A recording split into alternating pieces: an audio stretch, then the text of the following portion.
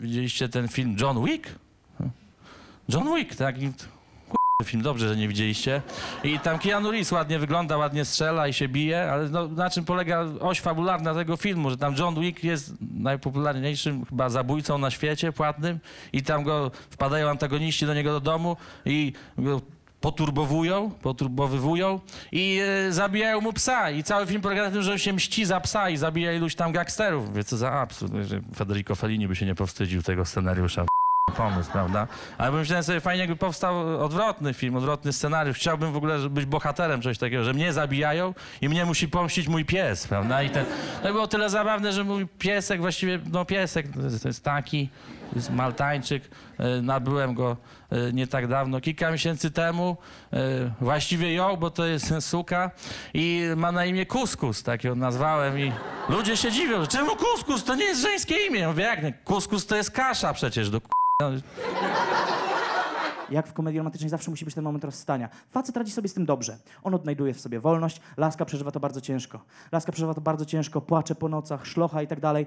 Widzimy te piękne montaże. Te montaże są najlepsze. Montaże, kiedy ona siedzi na parapecie i leci I'm never gonna dance again.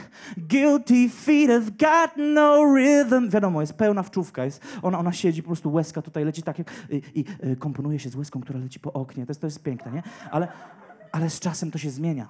Z czasem to się zmienia, to idzie w drugą stronę.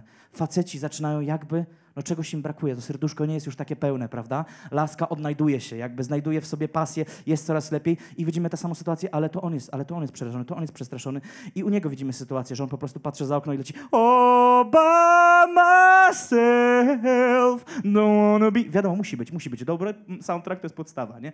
I on sobie uświadamia, że on ją kocha i on musi o nią walczyć za wszelką cenę.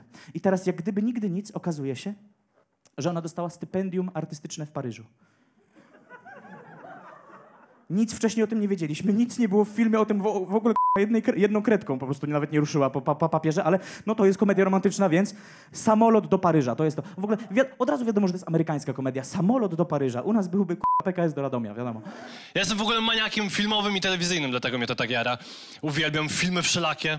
Tylko jest jedna rzecz, która mnie w, w filmach i są to sceny seksu pod prysznicem twarzą do siebie.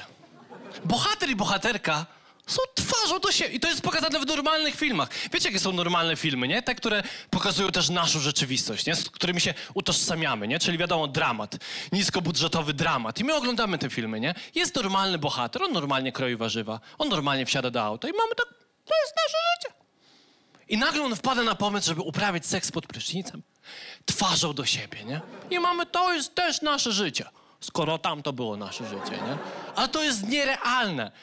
W sensie, dźwignąć kobietę boso w mokrym brodziku prysznicowym, otoczony szkłem, co się może wydarzyć, nie? Po pierwsze, dźwignąć kobietę, nie? Nie wiem, czy pamiętacie ten, to jest przerażający moment. Nie wiem, czy pamiętacie na przykład ze swojego ślubu, jak trzeba było ją dźwignąć i przenieść przez próg. To jest ten moment, gdy wszyscy jednogłośnie mówimy "J- przepisy BHP.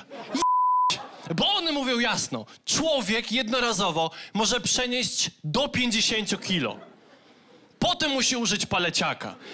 I ja jestem za tym, żebyśmy na tym polu rygorystycznie przestrzegali tych praw, bo nic nie zmotywuje bardziej kobiety do zrzucenia do 50 kilo w dzień ślubu, niż wizja wjechania na własne wesele na j- paleciaku. Nic nie zmotywuje bardziej.